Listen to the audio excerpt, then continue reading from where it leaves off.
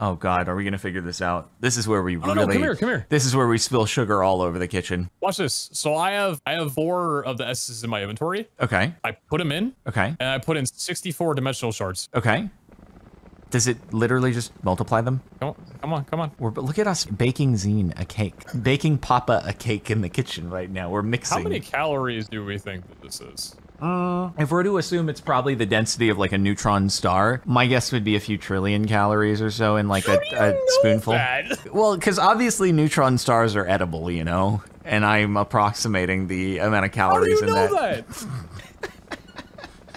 Wait, are you lying to me, or do you actually know that neutron stars are edible? I can't tell if you're messing with me right now.